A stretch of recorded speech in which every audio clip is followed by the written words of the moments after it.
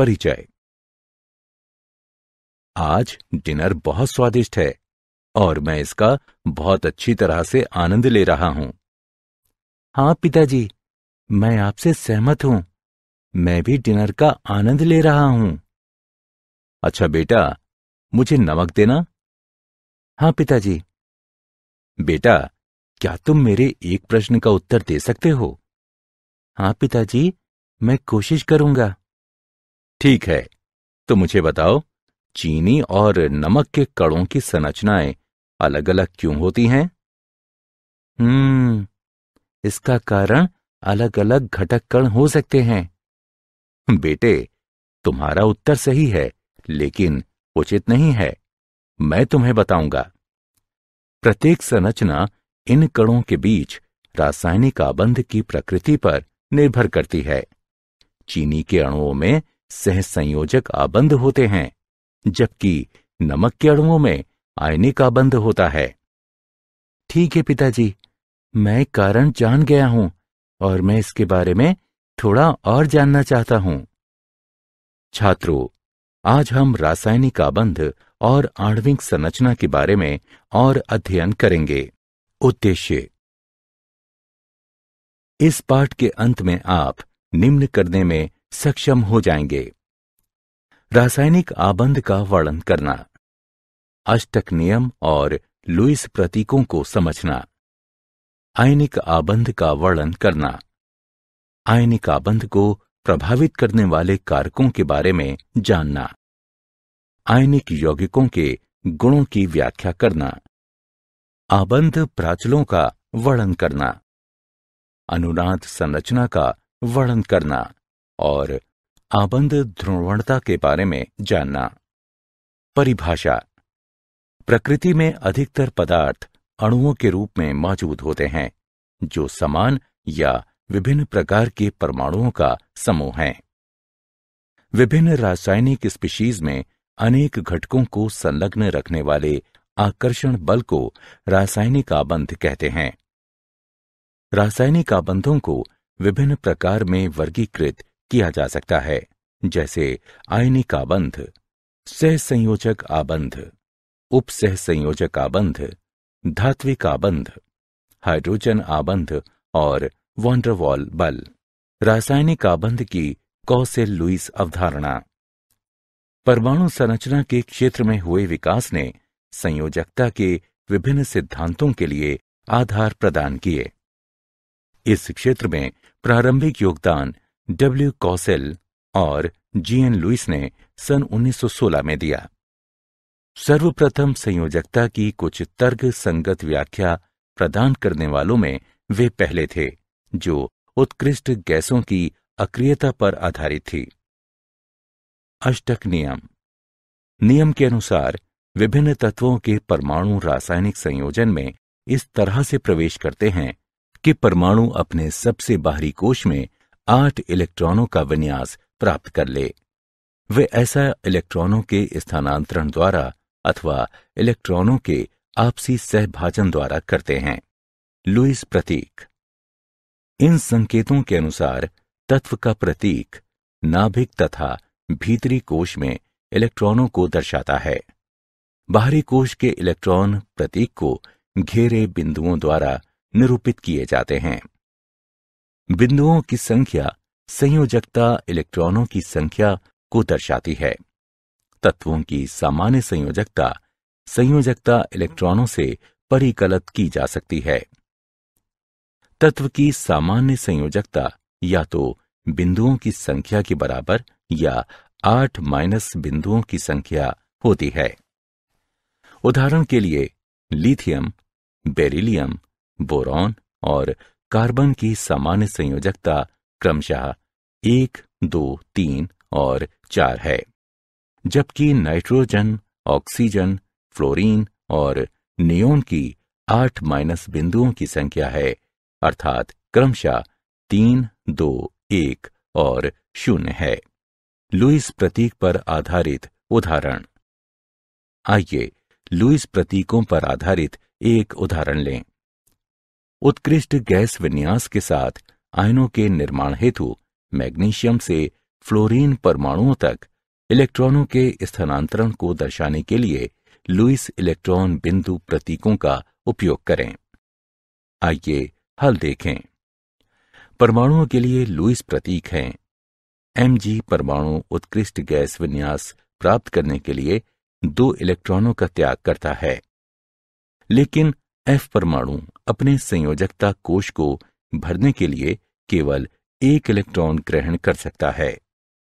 इसलिए दो एफ़ परमाणुओं को इलेक्ट्रॉन स्थानांतरण में भाग लेना चाहिए। हम इस इलेक्ट्रॉन स्थानांतरण को इस तरह से दर्शा सकते हैं। आयनिक आबंध। आयनिक आबंध का निर्माण एक परमाणु से दूसरे परमाणु तक एक या अधिक इलेक्ट्रॉनों के स्थानांतरण द्वारा होता है। सामान्यतः, इस प्रकार का आबंध एक धात्विक और एक अधात्विक परमाणु के बीच अस्तित्व में आता है। धात्विक परमाणु अपने संयोजकता इलेक्ट्रॉनों का त्याग कर देता है और एक धनायन कहलाने वाले धन आयन में बदल जाता है, जबकि एक आधात्विक परमाणु इलेक्ट्रॉनों को ग्रहण करता है और ऋणायन कहलाने वाले ऋण आयन में परिवर्तित हो जाता है। विपरीत आवेशित आयन आकर्षण के स्थिर वैद्युत बल द्वारा परस्पर बंधे रहते हैं। आयनिक आबंध को वृत आवेशित आयनों को बांधने वाले आकर्षण के स्थिर वैद्युत बल के रूप में परिभाषित किया जा सकता है।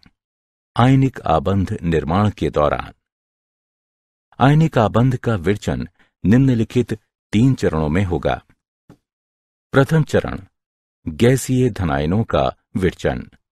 इस चरण के लिए आवश्यक ऊर्जा आयनन ऊर्जा कहलाती है। दूसरा चरण, गैसीय ऋणायनों का विरचन। इस चरण से मुक्त होने वाली ऊर्जा इलेक्ट्रॉन बंधुता कहलाती है। तीसरा चरण, विपरीत आवेशित आयनों की पैकिंग नियचन आयनिक ठोस बनाती है। इस चरण में मुक्त होने वाली ऊर्जा जालक ऊर्जा कहलाती है। अब स्थिर आयनिक आबंध के लिए कुल मुक्त ऊर्जा आवश्यक ऊर्जा से अधिक होनी चाहिए। स्थिर आयनिक आबंध के लिए दशाएँ हैं। परमाणु बनाने वाले धनायन की आयनन ऊर्जा कम होनी चाहिए। परमाणु बनाने वाले ऋणायन की इलेक्ट्रॉन बंधुता उच्च होनी चाहिए। जालक ऊर्जा उच्च होनी चाहिए। आयनिक आबंध और सहसंयोजी आबंध के बीच अंतर। आयनिक आबंध एक परमाणु से दूसरे परमाणु तक इलेक्ट्रॉन के स्थानांतरण द्वारा बनता है, जबकि सहसंयोजी आबंध परमाणुओं के बीच परस्पर सहभाजन द्वारा बनता है।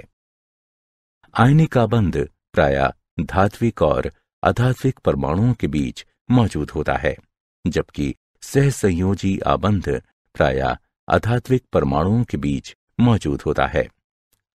आयनिक आबंध अधिशात्मक होता है, जबकि सहसंयोजी आबंध दिशात्मक होता है। आयनिक आबंध सदैव ध्रुवीय होता है, जबकि सहसंयोजी आबंध ध्रुवीय हो भी सकता है और नहीं भी हो सकता है।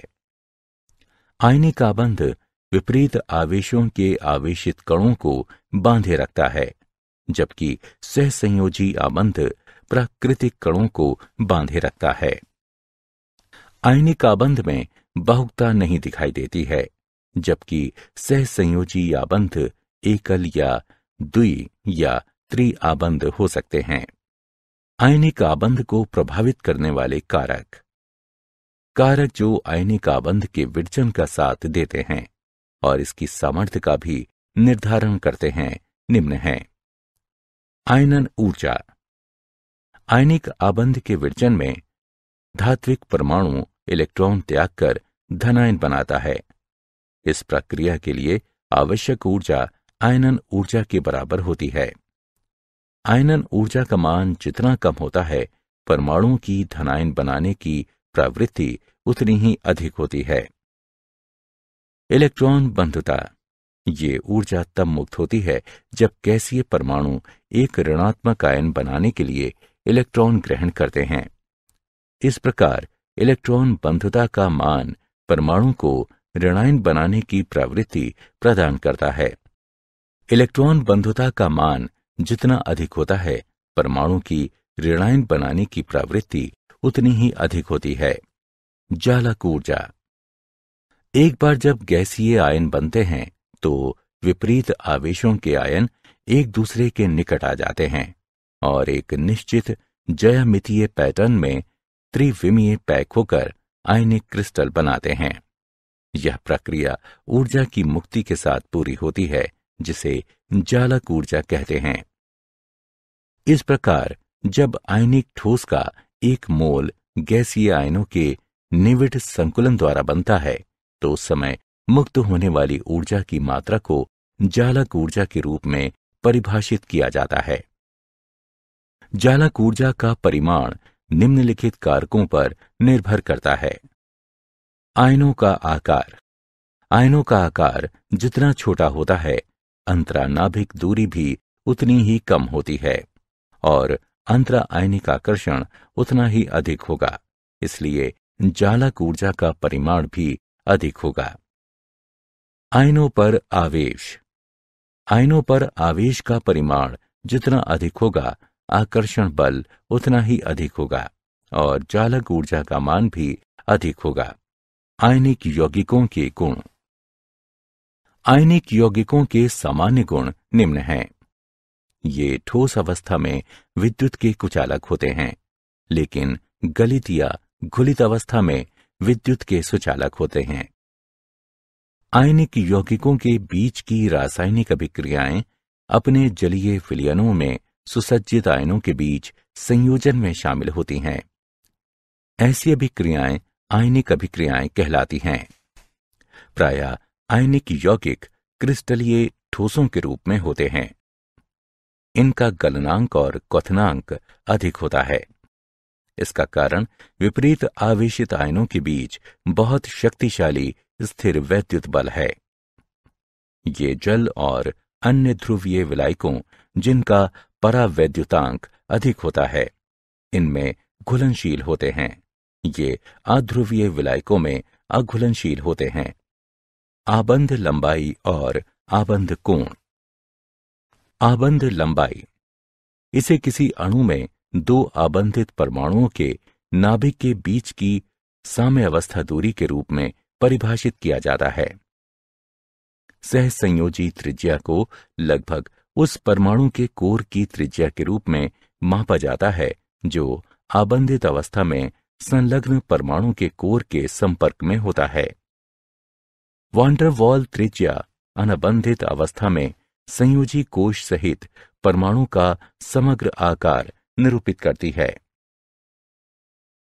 आबंध कोण, इस किसी अणु आयन के केंद्रीय परमाणु के आसपास उपस्थित आबंधन इलेक्ट्रॉन युग्म को धारण करने वाले ऑर्बिटलों के बीच कोण के रूप में परिभाषित किया जाता है। आबंध कोण को डिग्री के रूप में व्यक्त किया जाता है। आबंध एंथैल्पी और आबंध कोटि। आबंध एंथैल्पी।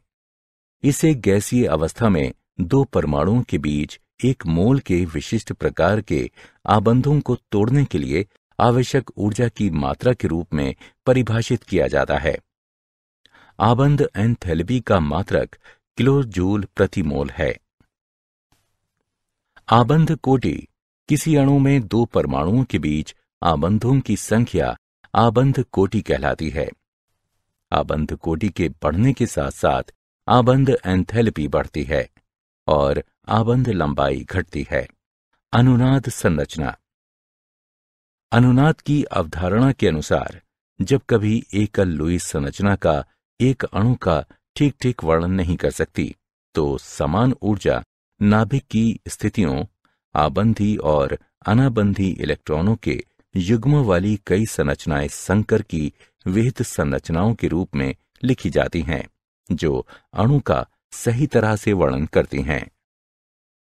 जब किसी अणु को एक से अधिक लुईस सूत्रों द्वारा, जिसमें से कोई भी यौगिक के अवलोकन किए गए सभी गुणों की व्याख्या करने में सक्षम है, निरूपित किया जा सकता है तो अणु की वास्तविक संरचना विभिन्न लुईस सूत्रों का मध्यवर्ती होती है और ये अनुनाद संकर कहलाती है। आबंधों की ध्रुवता आयनिक आबंध में धनायन इलेक्ट्रॉनिक घनत्व को अपनी तरफ़ प्रतिकर्षित करके ऋणायन के इलेक्ट्रॉन अभ्र को ध्रुवित करते हैं। इसके कारण आयनिक आबंध में सह संयोजक लक्षण विकसित होते हैं। धनायन का आकार जितना छोटा होता है, इसकी ध्रुवण क्षमता उतनी ही अधिक होती है।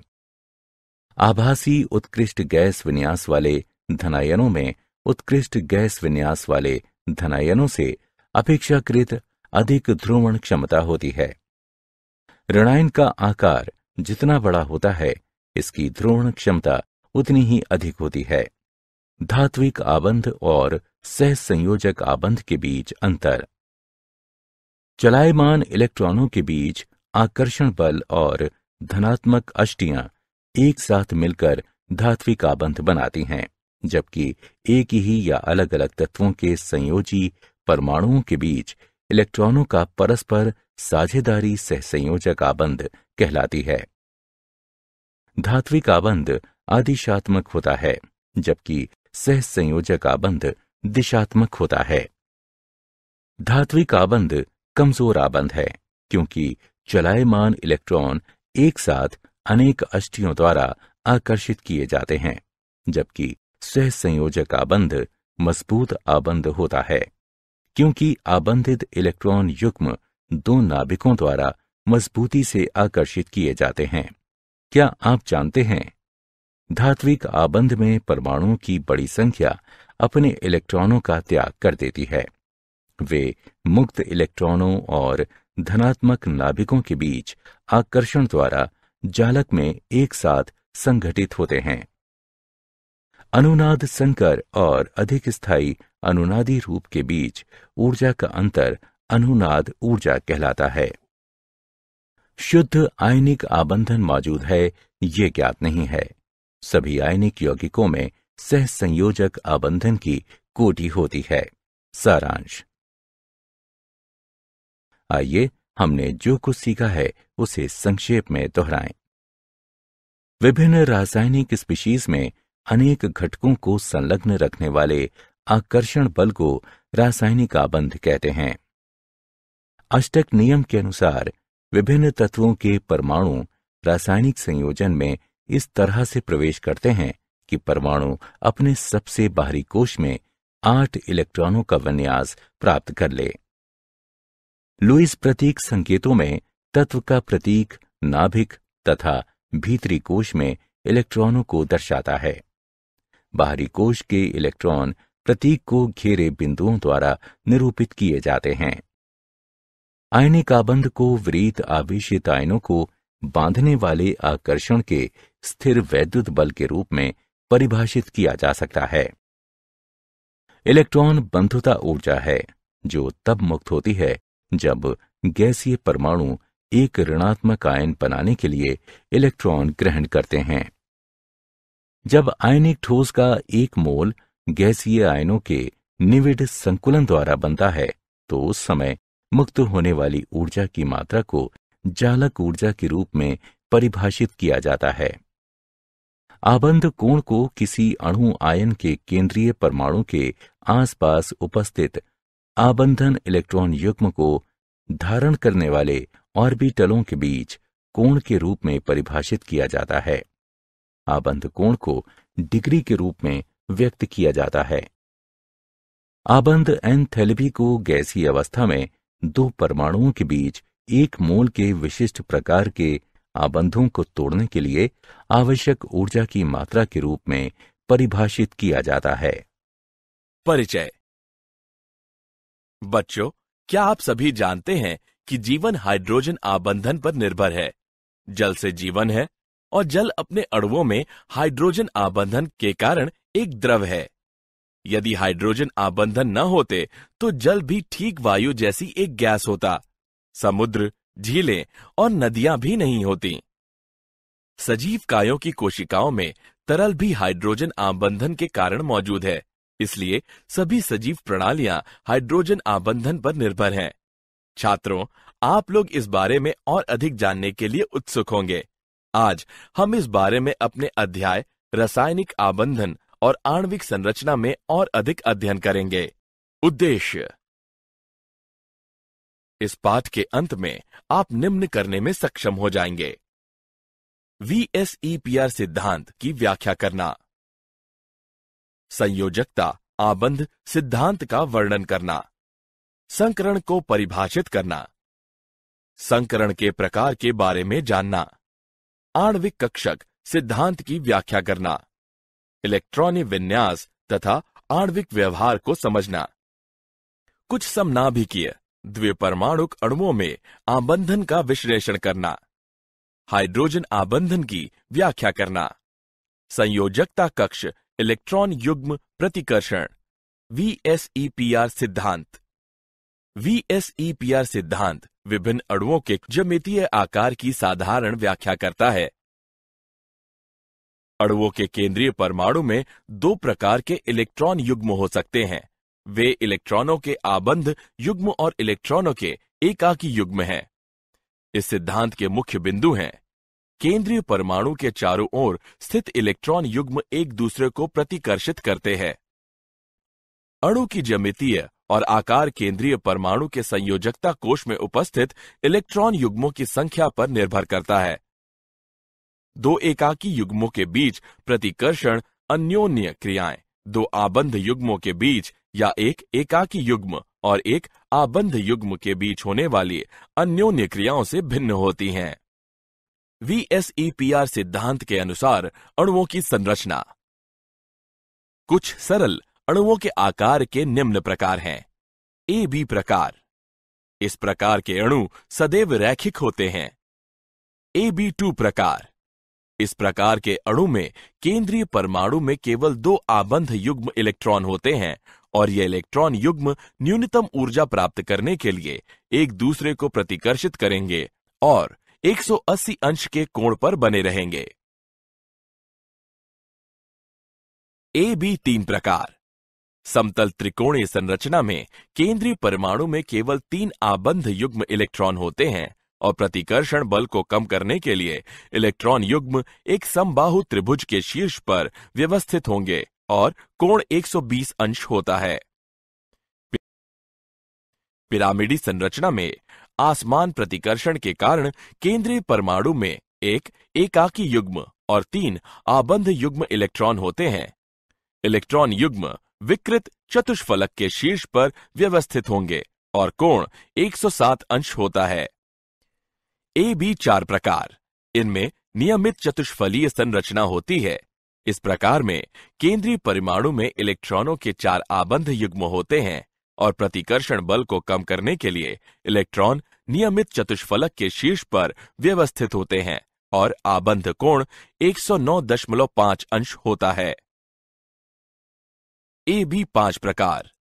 इस प्रकार में केंद्रीय परमाणु इलेक्ट्रॉनों के पाँच आबंध युग्म द्वारा घिरा होता है और प्रतिकर्षण बल कम करने के लिए सबसे स्थायी व्यवस्थापन त्रिकोणी द्विपिरामिडी है। ए बी छह प्रकार। इस प्रकार में केंद्रीय परमाणु में इलेक्ट्रॉनों के छह आबंध युग्म होते हैं और प्रतिकर्षण बल कम करने के लिए ये नियमित अष्टफलक के शीर्ष पर व्यवस्थित होते हैं। संयोजकता आबंध सिद्धांत। संयोजकता आबंध सिद्धांत के अनुसार सहसंयोजी आबंध दो परमाणु कक्षकों के बीच परस्पर अतिव्यापन के कारण बनते हैं। अधिक अतिव्यापन सहसंयोजक आबंध के स्थायित्व को सुनिश्चित करता है। अतिव्यापन की सीमा कक्षकों की प्रकृति और अतिव्यापन की प्रकृति पर निर्भर करती है। अतिव्यापन में वृद्धि होती है। यदि कक्षक नाभिक के निकट बने रहते हैं, चूँकि एस कक्षकों को छोड़कर सभी अन्य कक्षकों में दिशात्मक गुण होता है। समान ऊर्जाओं वाले दो उपकोषों की स्थिति में अधिक दिशात्मक गुण वाला उपकोष अतिव्यापन की बड़ी सीमा दर्शाता है। एस कक्षक अतिव्यापन केवल सिरेवार अतिव्यापन दर्शाता है। पी कक्षक सिरेवार तथा पार्श्व अतिव्यापन दोनों दर्शाता है। सिरेवार अतिव्यापन में अतिव्यापन क्षेत्र पार्श्व अतिव्यापन से अधिक होता है, इसलिए सिरेवार अतिव्यापन के कारण मज़बूत आबंध निर्मित होता है। सहसंयोजी आबंध के प्रकार। अतिव्यापनों के प्रकार के आधार पर सहसंयोजी आबंध को दो प्रकार में वर्गीकृत किया जा सकता है, सिग्मा आबंध तथा पाई आबंध। सिग्मा आबंध। सिग्मा आबंध नाभिकीय अक्ष पर अर्ध वृत्त परमाणु कक्षकों के बीच सिरेवार अतिव्यापन के कारण निर्मित होते हैं। सिग्मा आबंध विभिन्न प्रकार के अतिव्यापन के कारण निर्मित होते हैं। एस एस अतिव्यापन। दो हाइड्रोजन परमाणुओं की एस कक्षक में अतिव्यापन के कारण हाइड्रोजन अणु बनता है। एक एच परमाणु की अर्धभृत एस कक्षक दूसरे एच परमाणु की अर्धभृत एस कक्षक के साथ अतिव्यापन करता है।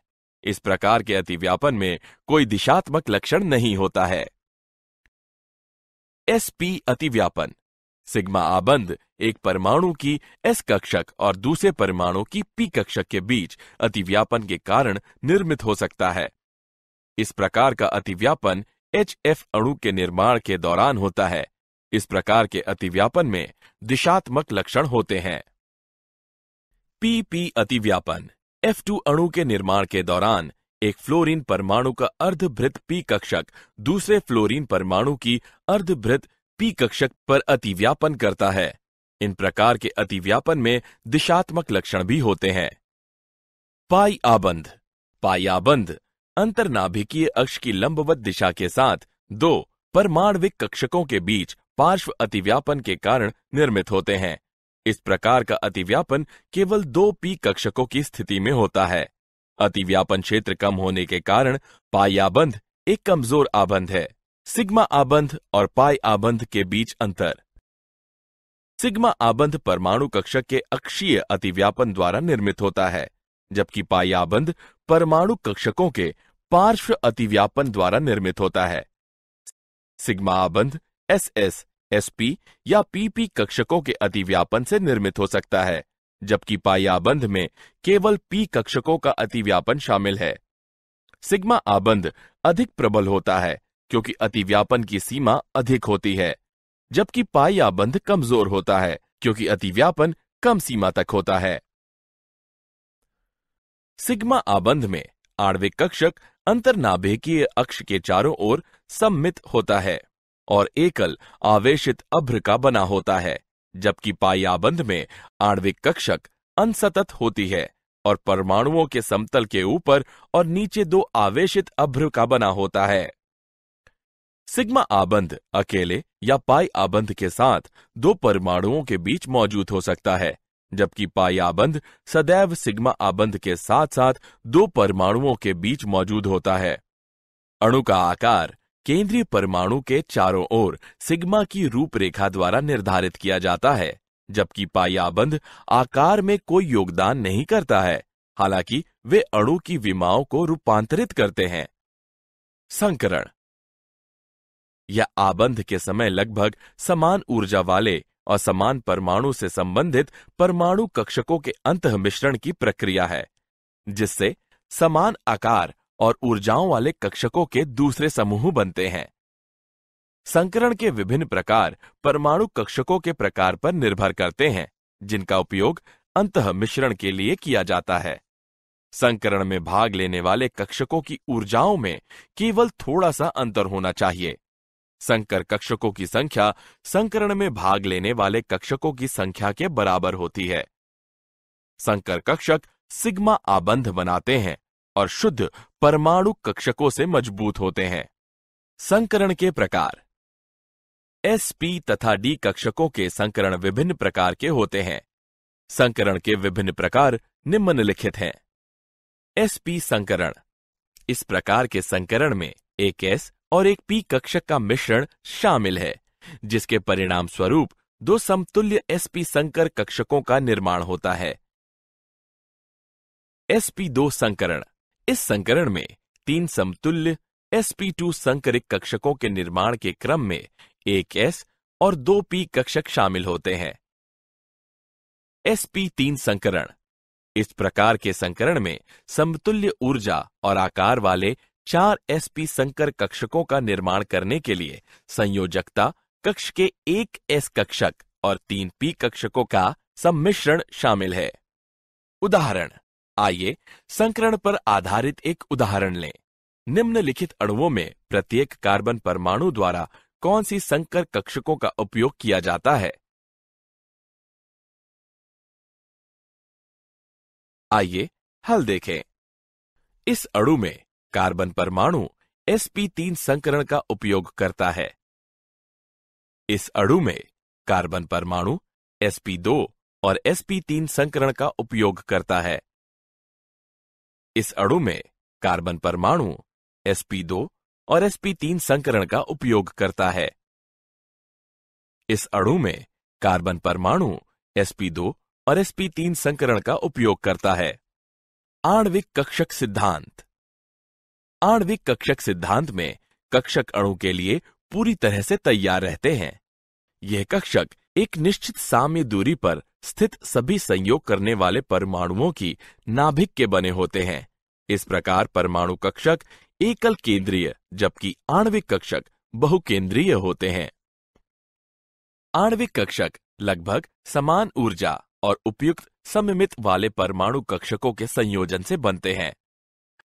आणविक कक्षकों की संख्या संयोग करने वाले परमाणु कक्षकों की संख्या के बराबर होती है। निर्मित नए आणविक कक्षकों में से आधे निम्न ऊर्जा वाले और शेष आधे उच्च ऊर्जा वाले होते हैं। आणविक कक्षक पाओली के अपवर्जन सिद्धांत और हुंड के नियम का पालन करते हुए ऑफ़ बाउ नियम के अनुसार भरे जाते हैं। परमाणु कक्षकों का रैखिक संयोग, एल सी श्रोडिंगल तरंग समीकरण के अनुसार एक परमाणु कक्षक को इसके तरंग फलन जाई के रूप में निरूपित किया जा सकता है। जो त्रिविमीय इलेक्ट्रॉन तरंग के आयाम के समान होता है। दो परमाणु कक्षकों का रैखिक संयोग व्यक्तिगत परमाणुओं के दो परमाणु कक्षकों के योग या अंतर द्वारा किया जाता है। यदि ए और बी दो परमाणुओं में एक इलेक्ट्रॉन है तो उनका तरंग फलन क्रमशः जाई ए और जाई बी द्वारा निरूपित किया जाता है, और सहसंयोजक अणु ए बी के आणविक कक्षकों को निम्न द्वारा निरूपित किया जा सकता है। जाई बी बराबर जाई ए धन लेमडा जाई बी जाई ए बराबर जाई ए घटा लेमडा जाई बी जहाँ जाई बी बराबर आबंधन आणविक कक्षक. जाई ए बराबर प्रतिबंधन आणविक कक्षक लेमडा अणु एबी के आंशिक आयनिक गुण को निरूपित करता है। आबंधन आणविक कक्षक की ऊर्जा परमाणु कक्षकों से कम होती है। क्योंकि इलेक्ट्रॉनों के बीच आकर्षण अधिक होता है। प्रतिबंधन आणविक कक्षक की ऊर्जा परमाणु कक्षकों से अधिक होती है, क्योंकि इलेक्ट्रॉनों के बीच आकर्षण कम होता है। आणविक कक्षकों के प्रकार। आणविक कक्षकों को परमाणु कक्षकों में एस पी डी आदि के बजाय सिग्मा पाई डेल्टा के रूप में नामित किया जाता है। सिग्मा आणविक कक्षक। आणविक कक्षक, जो आबंध अक्ष के चारों ओर बेलन सम्मितीय होते हैं, सिग्मा आणविक कक्षकों के रूप में जाने जाते हैं। पाई आणविक कक्षक। ये कक्षक आबंध अक्ष की लंबवत दिशा के साथ दो पी कक्षकों के बीच पार्श्व अतिव्यापन के कारण निर्मित होते हैं। इलेक्ट्रॉनिक विन्यास और आणविक व्यवहार। विभिन्न आणविक कक्षकों के बीच इलेक्ट्रॉनों का वितरण अणु का इलेक्ट्रॉनिक विन्यास कहलाता है। आबंध कोटि। आबंध कोटि को आबंधी तथा प्रति आबंधी कक्षकों में उपस्थित इलेक्ट्रॉनों की संख्या के बीच अंतर के आधे के रूप में परिभाषित किया जाता है। आबंध कोटि का धनात्मक मान अणु के स्थायित्व को प्रकट करता है और एक ऋणात्मक या शून्य आबंध कोटि दर्शाती है कि अणु अस्थायी है या अणु किसी भी तरह से नहीं बनेगा। उच्च आबंध कोटि उच्च आबंध विखंडन ऊर्जा और छोटी आबंध लंबाई को दर्शाती है। आबंध कोटि अणु में सहसंयोजी आबंधों की संख्या दर्शाती है। अणुओं के कुछ गुण। अणुओं का स्थायित्व। माना, आबंधी कक्षकों में उपस्थित इलेक्ट्रॉनों की संख्या Nb है और प्रति आबंधी कक्षकों में उपस्थित इलेक्ट्रॉनों की संख्या Na है। यदि Nb बड़ा है Na से तो अणु स्थायी है। लेकिन यदि Nb छोटा है Na से या Nb बराबर है Na के तो अणु अस्थायी हो जाता है। आबंध की प्रकृति। पूर्ण आबंध कोटि का मान एक, दो या तीन है तो उसमें क्रमशः एकल, द्वि अथवा त्रि आबंध होंगे। आबंध लंबाई। किसी अणु में दो परमाणुओं के बीच आबंध कोटि को आबंध लंबाई की सन्निकट माप के रूप में लिया जा सकता है। आबंध कोटि बढ़ने पर आबंध लंबाई घटती है। चुंबकीय स्वभाव। यदि किसी अणु के इलेक्ट्रॉनिक विन्यास में अयुग्मित इलेक्ट्रॉन है तो अणु अनुचुंबकीय होगा और यदि इसमें केवल युग्मित इलेक्ट्रॉन है तो अणु प्रतिचुंबकीय होगा। कुछ समनाभिकीय द्विपरमाणुक अणुओं में आबंधन। हाइड्रोजन अणु H2 आबंध कोटि का मान एक होता है। अणु स्थायी और प्रतिचुंबकीय होता है। हीलियम अणु He2 आबंध कोटि का मान शून्य होता है। अणु अस्थायी और प्रतिचुंबकीय होता है। ऑक्सीजन अणु O2 आबंध कोटि का मान दो होता है। अणु स्थायी और अनुचुंबकीय होता है। सहसंयोजी आबंधों की संख्या बराबर दो। नाइट्रोजन अणु N2 आबंध कोटि का मान तीन होता है। अणु स्थायी और प्रतिचुंबकीय होता है। सहसंयोजी आबंधों की संख्या बराबर तीन। हाइड्रोजन आबंधन। यह एक अणु के सहसंयोजी आबंधित हाइड्रोजन परमाणु और दूसरे अणु के विद्युत ऋणात्मक परमाणु के बीच लगने वाला आकर्षण बल है। यह आबंध तब बनता है जब हाइड्रोजन परमाणु सीधे उच्च विद्युत ऋणात्मक परमाणु से जुड़ा होता है। आबंध को डॉटेड रेखा द्वारा दर्शाते हैं। अधिक प्रभावी हाइड्रोजन आबंधन के लिए हाइड्रोजन परमाणु को छोटे आकार तथा उच्च विद्युत ऋणात्मकता वाले परमाणु से जुड़ा होना चाहिए। हाइड्रोजन आबंध आयनिक, सहसंयोजी, दाता और धात्विक आबंध से कमज़ोर होता है, लेकिन वंडरवाल बलों से मज़बूत होता है। हाइड्रोजन आबंध के प्रकार। हाइड्रोजन आबंध दो प्रकार के होते हैं। अंतरा अणुक हाइड्रोजन आबंध। हाइड्रोजन आबंधन, जो समान या अलग अलग पदार्थों के बीच बनते हैं, अंतरा अणुक हाइड्रोजन आबंध कहलाते हैं। यह अणुओं के साहचर्य, गलनांक और क्वथनांक में वृद्धि, आणविक पदार्थ जैसे एल्कोहल शर्करा और शहद की जल में विलेयता का कारण है। अंतर अणुक हाइड्रोजन आबंध। हाइड्रोजन आबंधन, जो समान अणुओं में बनता है अंतर अणुक हाइड्रोजन आबंधन कहलाता है। ओ नाइट्रोफिनॉल, सैलिसिलिक अम्ल, अंतर अणुक हाइड्रोजन आबंधन के कुछ उदाहरण हैं। क्या आप जानते हैं, सहसंयोजी यौगिक सामान्यतः जल में अविलय या कम विलय होते हैं। पृथक हीलियम परमाणुओं की ऊर्जा उस तंत्र से कम होती है जब वे एक दूसरे के निकट आते हैं। वे पृथक होना पसंद करते हैं। और एच दो अणु नहीं बनाते हैं। वाटर स्ट्राइडर या स्केटर बग गति करने के लिए हाइड्रोजन आबंध द्वारा निर्मित जल के पृष्ठ तनाव का उपयोग करते हैं। सारांश। आइए, हमने जो कुछ सीखा है, उसे संक्षेप में दोहराएँ। अणु की ज्यामितीय और आकार केंद्रीय परमाणु के संयोजकता कोष में उपस्थित इलेक्ट्रॉन युग्मों की संख्या पर निर्भर करता है। दो एकल युग्मों के बीच प्रतिकर्षण अन्योन्य क्रियाएँ दो आबंध युग्मों के बीच अन्योन्य क्रियाओं, या एक एकल युग्म और एक आबंध युग्म के बीच की अन्योन्य क्रियाओं से भिन्न होती है।